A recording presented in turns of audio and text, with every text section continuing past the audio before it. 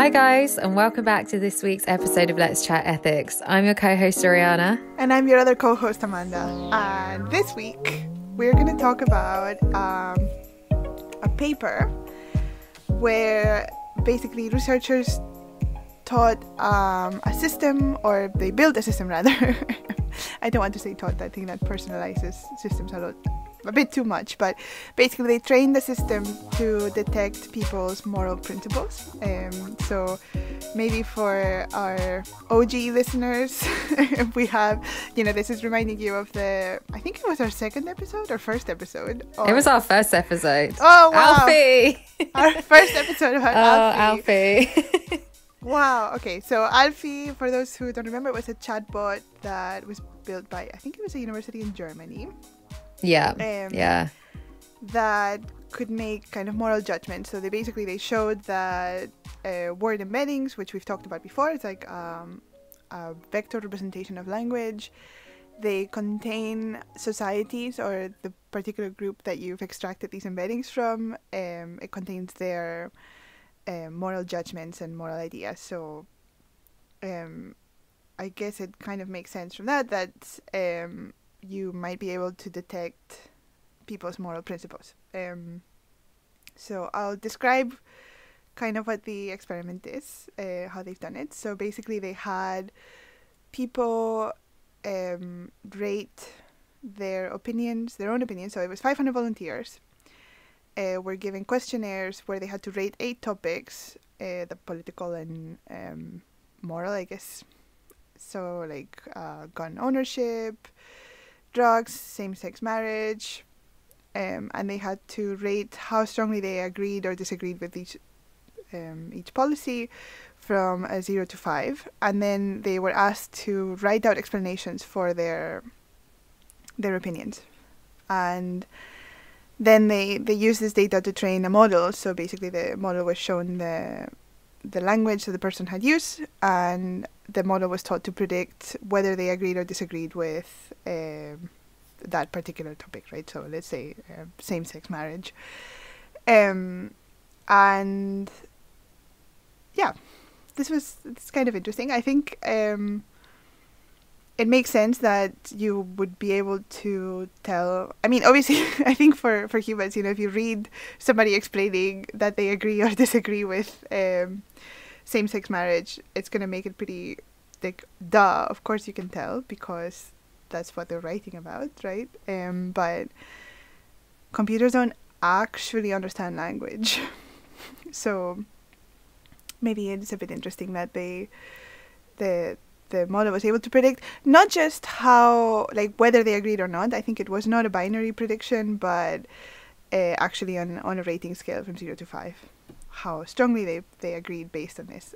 Yeah, I thought I always find the the the rating of one to five an interesting way to kind of figure out how what your moral principles are or kind of what your personality is. You know the um I've forgotten the name of that test. Oh, is it the Briggs Myers test? That's something that I know in America and um, my experience in New York, actually, a lot of companies, when they interview you, would get you to take that personality test, and then that would decide whether they think you'll be a good fit for the team.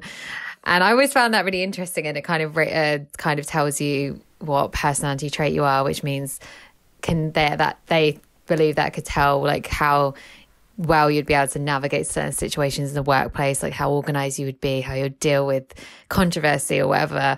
Um, but I've always wondered if that can actually be accurate because those type of tests, you you, I felt like people rate themselves what they think they want to be rather than necessarily mm-hmm. what they actually are. So even for example, with this one, if you're rating yourself as one to five on, I mean, maybe your opinions of same-sex marriage, maybe you're you're actually more conservative than you want to admit you are. So you you might put yourself down as a a two. Uh, I'm sorry, you might put down yourself as a yeah. As a, wait, was it one? Was it? a zero to five. I think uh, five disagrees. Agree. Okay, never. Okay, so you might put yourself down as like a four because you like a. I pretty much I totally agree with same-sex marriage. When really secretly you might be a one on a two, but you don't necessarily want to be that person. If that makes sense. Yeah, it's kind of like when you were like, "I'm not racist," but exactly, exactly. Sort of, yeah, yeah. Where you might think, "Oh, I don't want to say that I'm against it, so I'm gonna yeah so i guess in a way you could be kind of lying to the model so the model is actually predicting a little bit off basically um yeah. Yeah. Because i because i feel like a lot of times in those situations i thought those tests um i know loads of people were like super hyped by those tests and a lot of uh, tech startups seem to be um in new york anyway were seeming to use that test as um kind of uh, the the Myers Briggs one or whatever it's called, I think it's Myers Briggs, yeah, as deciding who would be suitable based on all their different principles in their workforce. But I do think people tend to actually not accurately rate themselves because you always, especially in, a, in an interview situation, you'll want to come across as like you're what you think they want rather than what you necessarily are. So yeah, I think that's uh, in, an interesting article actually. Um, I mean, it's cool that I think it's cool that they've they've tried to to do that. But can it can a system really predict people's moral principles? Yeah, I think I don't know. I guess it ties in maybe a little bit with uh, emotion AI and that kind of thing. Um, I also wonder, you know, in this this example, they're using text about that specific issue, right? But I think you know there's already language differences. We know there's differences in language use depending on your your gender, for example. Mm-hmm. Um, and I would be interested to know if there's also language differences based on your political opinions, maybe beyond that specific topic. I mean, of course, I think the way you talk about same sex marriage will say something about how you feel about same sex marriage, right? And it could be that even if you're sort of lying about it, right? So maybe you're saying, yeah, I'm not racist, but I'm not homophobic, but um, you know, you are what's the word I'm trying to look for? I guess it's kind of outwardly lying, but your your choice of words maybe gives away something that you're trying to to hide, right? Um, so because yeah, usually if you're saying I'm not racist, but you're usually about to say something quite racist. yeah. um, yeah, I'd be yeah, but I'd be curious to know how well this could work on non obviously politicized um, data. Or for example, like could a company run such an algorithm over your tweets, right? Maybe somebody a company that's considering hiring you and then essentially put you in in a chart of this is where you place politically based on your tweets or something um, mm-hmm. or your facebook posts even well, if you're tweeting about the british bake off that that is the thing and also yeah I, I just i wonder what um I, I think it's an interesting experiment obviously like an it's a, a, good idea to do different experiments like this. But then I wonder, like you said, how will this transcend into um, everyday life? Like if this was going to be used, like you were saying, um, it could be used though, because like I was saying, the pers- I feel I feel like personally that personality test is not that much different like rating yourself one to five how much do you disagree of you know like how would you rate yourself? Are you organized?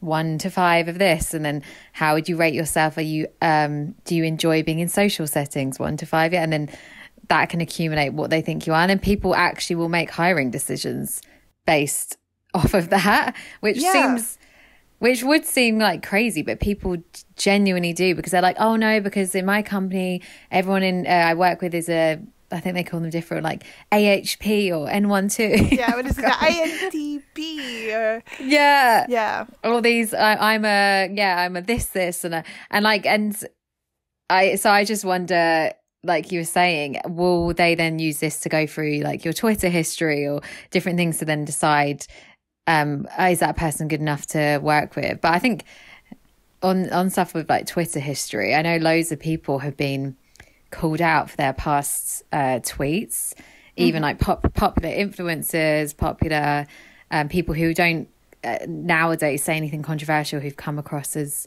um, like positive public figures. They've someone has searched in the little bar to find something bad that they've said when they were like twelve, and mm. I'm sure if anyone dove into their old Twitter history from when they were young, they might have said something that they wouldn't agree with potentially now. But yeah, so if imagine if you have a system doing that that's kind of like scope out your thoughts because i'm sure most people's political opinion or their opinions on something like same-sex marriage might have changed from when you were 15 to like 30 yeah. but but unfortunately the way twitter and stuff is if that tweet comes out when you're in your 30s and it comes up everyone's going to be oh my god you're this is your opinion and it's um kind of this then cancel culture comes in so that would be yeah. crazy if that was the case. Yeah, actually, yeah. I think. Oh, yeah, I'm, I'm thinking when I was like an early teenager, I remember that um, it was before, before feminism was cool, and um, yeah, I think yeah, it was when everybody was like, "Oh, feminism is that you know women are superior to men," and so you'd be like, "No, I think everybody's equal. I'm not a feminist," and I mean, today I would definitely say I, I am a feminist, and I'm sure at that time I said, no, no, I'm not a feminist. Uh, and I am quite happy that I didn't have Twitter or. And I mean, those things were already around when I was a teenager, at least when I was like in my later teens. It was probably around before that. I just wasn't into that. but yeah, um, yeah I'm, I'm quite glad those things are, are gone uh, yeah, and but, and I would imagine that for people who have had it longer, you know, when this thing suddenly pops up for you, yeah, I think we should all have the opportunity to to evolve from from your tweets. So I wonder if they were to build a model that could detect your political inclinations from your tweets, would they only do it based on your tweets from the last one, two years? Would it like consider all your tweets, but maybe like lower that like maybe do it in a weighted way so that like tweets that are older than five years count less or something yeah like how how would they how would they kind of do that that would actually be now i'm thinking deep i'm like god that would be worrying actually if if you had a model that um, companies were using to to go off Twitter and maybe Facebook Facebook statuses or something like that to decide yeah. whether they like what your political view is and then what your maybe overall cultural views are and stuff like that and that's why they should hire you or not but that sounds like crazy but I'm sure that could easily happen I and mean, it, I think based on on the paper we're discussing um it's perfectly reasonable. I mean, all the things they can get from your Twitter, uh, your Twitter, your Twitter, um, or, or, other social media things, right? Like even your your captions on Instagram. And actually, I'm sure using computer vision, they can get things from your the actual images you post. Um, so I don't think it's wild to think that they could build a system that could do that. I don't know how accurate it would be, but like I mean, based on the you know all the like creepy ad- adverts that you get that are like uh, seem so specifically targeted at you, and that's from the the information that you've provided Facebook essentially or whatever social media platform. So they obviously have very very accurate models for people, pretty accurate models, I think. Um, so it's definitely I, not wild for me to think. I don't know. That's the information that's available to Facebook itself. Um, as I think not all your data that you share with Facebook is available to anybody who wants to use Facebook advertisement or their API. Um, but it's it's definitely a possibility. And I mean, I I think even without that, obviously, you need to be careful about what you're posting on social media. I um, I remember when I was applying for university. 10 years ago now. um, oh my god. I'm old. um, you know, oh, we were advised crazy. to. Yeah, I remember all my friends changing their their names on Facebook to something ridiculous so that universities couldn't find them and see all their like pictures of them doing. I definitely did that. Yeah, I definitely took my surname off of Facebook and just put my middle name. Yeah, um. So I think back then, even then, we were aware that your social media life can impact your um your real life not real life but you know oh what am i trying to say employment opportunities etc like you know Well, I do. Um, I, yeah. Oh, sorry. Yeah. No, I was just going to say, I do think that actually, as much as people might not want to admit this to themselves, but social media is now part of your identity, everyone's identity. I mean, yeah unless you're unless you're someone who is not using any social media, but any form of social media now, I would say is is a curated part of your identity, whether that's LinkedIn, Instagram, like Pinterest, even like you know Twitter, all these different things. It's giving people um, a kind of rounded view. Like if you're using Pinterest, they'll be able to tell you, oh wow, this girl's really interested. I don't know in like neutral interiors, and she likes you know different like different designs. Do you know what I mean? And then it, and LinkedIn will be then like, oh, this girl's applying for operations job, so she's an operationals. i just had this thought of like you get rejected from a job and they're like i just really didn't like that floral sofa you pinned you clearly have questionable taste and we can't have you in our company I know. I'm laughing, but then I'm like, that. You know what? I'm sure That that's happens, happened yeah. somewhere. You know, I'm I'm genuinely sure it has because I, and yeah, we've been you saying this ten years ago, but it is so true. We- We've for the, since I can remember since uni now, um, people have been saying. You know, make sure you don't put X, Y, and Z on social media. And, you know, like I remember when I was starting to finish my undergraduate and obviously everyone's starting to apply for jobs, everyone was like, oh my God, make sure your social media looks clean because companies will be Googling you. And it's all these. So it is part of our identity. And it, I guess mm-hmm. companies will say that says a lot about who you are by Yeah. what you do on social media, even though some it might not this is the thing even though sadly that might just be a tiny small identity of who you actually are but unfortunately that's kind of representing you as a whole now in the modern world Yeah, yeah, exactly. So it's wow. Um Yeah, it's very interesting. I was thinking, you know, this week with everything that's been going on in the US, um and a lot of the people who have been arrested for um smashing the pat- the Capitol. I don't know. Hang on. Terrorism. yeah. our capitol building yeah. Yeah, uh, they've been arrested based on what they they actually shared this stuff on, on social media, and um, I've seen some some people online that were kind of laughing about it because I think some of them are a bit older, like maybe baby boomers, so the generation before the millennials, um, who were always warning millennials stop putting everything on social media, and now they've been arrested for the stuff they've put on social media, and you know we had to worry about posting pictures of us drinking before we were 18 or 21 in the US, you know. Um, so, yikes. Um, yeah yeah i wonder what um what was your thought of, of making arrests from based off social media I mean, I think if you're posting yourself actually doing something illegal, there's no, like, why are you going around providing evidence that you've done something? Like, I am. I was listening to this other podcast. Uh, was it the Emily D. Baker podcast? It's like the this podcast about law. Um, and she's she's American. She was talking about this, and she was saying that she was getting Minority Report vibes from this. Um, which I couldn't totally agree with because I think if you're posting yourself like a picture of yourself um on the like the speaker podium in the US like in the Capitol having broken into the building then you have done something illegal in order to be there. Whereas a minority report they're kind of you know they're um preemptively arresting people etc based on a prediction that they might commit a crime or that they will commit a crime right um Yeah, like I, I feel like if you, I broke into someone's house, then I posted a picture of me on Facebook breaking Yeah. into the house, then I should expect to get arrested. Really, Yeah.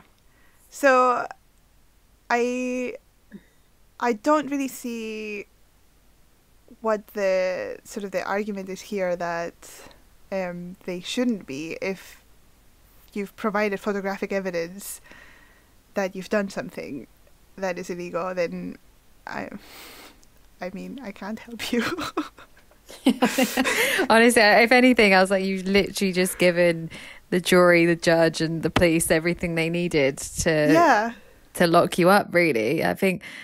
Uh, but that, that to me genuinely does show that people still do not realize how influential social media actually is. I still feel like a lot of people still see it as this kind of just like random platform that you're just chatting with people as if it's like private and it's and if, as if it's the same with you like having a conversation with someone in front of you saying oh i'm going to break into this house but instead mm. they're going to write it on a facebook caption and think I, I still feel people don't really understand that it's actually a space that we can all see like the, the police can see the government know what's happening like tech yeah. companies are monitoring. Do you know what i mean? It's it's not even our platform really. Like it feels like our platform but we don't own it. Do you know what i mean? We don't really have ownership in it.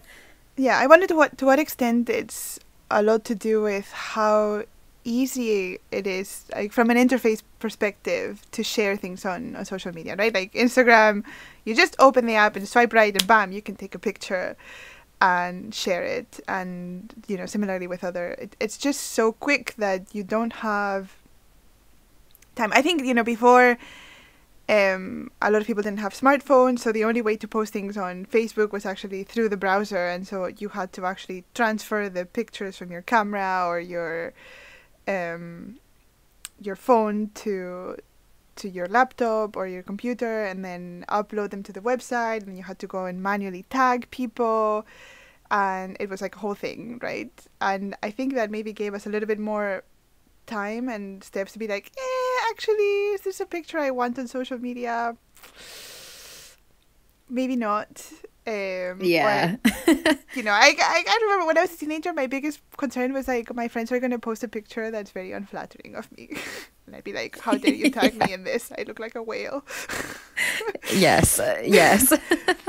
but right now it's just so fast. And I would imagine that, like, I mean, I, I obviously don't agree with everything that's happened in the US, but I, I could imagine that, like, as a social movement with all these people that you agree with, you suddenly belong to this group you've got this anger and resentment, so you get kind of carried away to go and storm the Capitol, and then, you know, what do you do in 2020, 2021 when something exciting is happening in your life? You post it on social media. it's like, hundred percent. Yeah, you've been in quarantine for what is this? Eight, eight months, nine months, ten months? Who knows? Twenty years.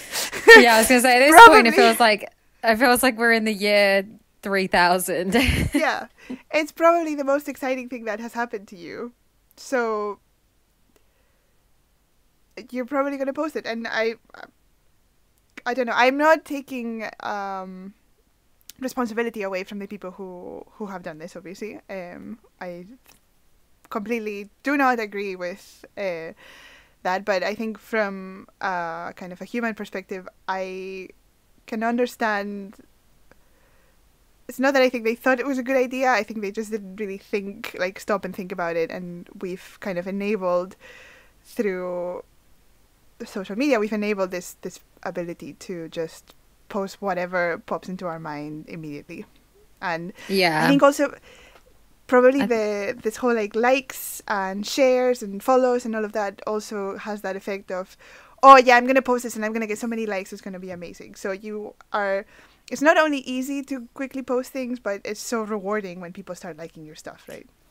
Yeah, I definitely think it's a lot of uh, instant gratification, which is what social media brings. Like most people, like you're feeling insecure, and then wow, you get some likes, so you're feeling like then you feel good about yourself. But yeah, I think that yeah, that mob mentality that happened definitely was something about how they got carried away. But I also do think um, definitely privilege fell into their white privilege because I think I actually genuinely do think that the majority of them wouldn't have even considered that they might get arrested because they thought, well, they they actually see themselves as above the law. Like we're white men, we can do. And they even said there was some uh, like cops who were on their days off. Shock horror.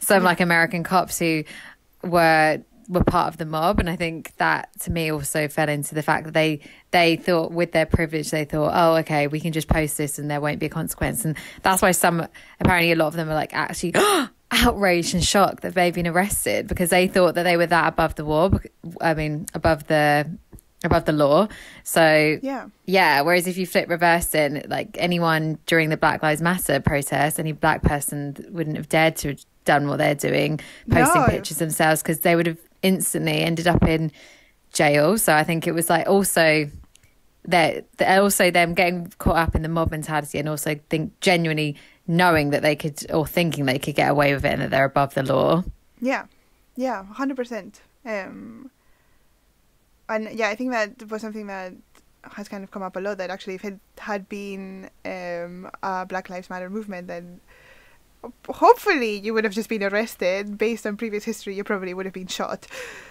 That's- Um, exactly that yeah it's So- yeah i think the yeah i mean the whole thing doesn't add up to me the how they just got into the building in the first place but i guess that's a story for another day because i think we're running out of time yes, we are. Okay, well, this was our actually first recorded episode of the year. it was indeed it was indeed yeah we hope you enjoyed last week's episode with uh, mark zerky and CDI. um yeah we actually recorded that during the christmas break which was which was fun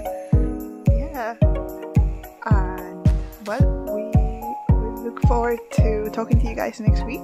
And of course, if you want to reach out to us on uh, social media, we're at Let's Chat Ethics on Twitter. And if you want to email us, we're at Let's Chat Ethics at gmail.com.